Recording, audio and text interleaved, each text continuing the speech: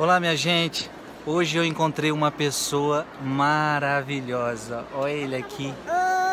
Oi, Oi, esse aqui é o Lucas. Tudo bem, Lucas? tudo.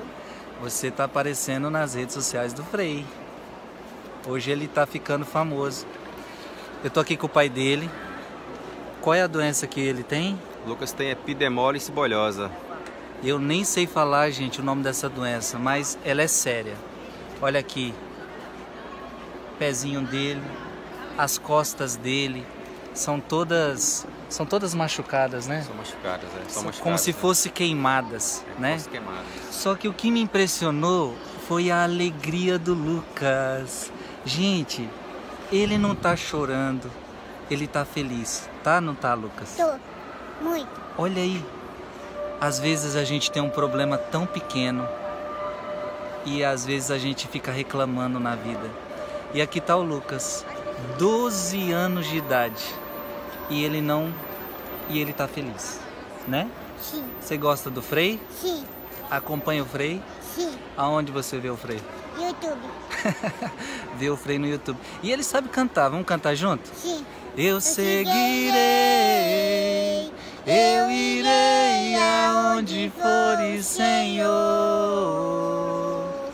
Eu seguirei, eu irei aonde fores, Senhor. Tua graça me basta, teu amor me sustenta. Tua graça me basta, teu amor me sustenta. Eu seguirei.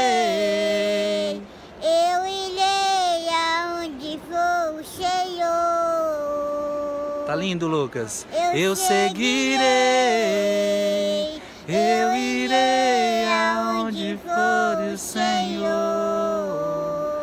Tua graça me basta. Teu amor me sustenta.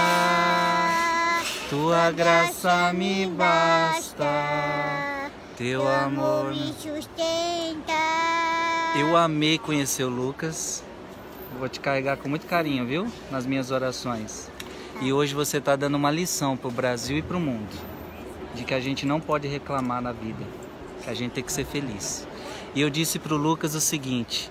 A, a carne da gente, ela vai perecendo com a vida, com o tempo. Mas o coração dele está em paz. O coração dele está bem. E um dia, eu disse para ele, um dia a tua carne vai ressuscitar. A tua carne vai ressuscitar e ela vai ficar perfeita. Amém? Amém. Que lindo. Manda um abraço para esse povo. Abraço, povo. Diga tchau. Tchau. Deus abençoe. Valorize a vida de vocês, fale. Va- Valorize a vida de vocês. Deus abençoe, gente. Um abraço.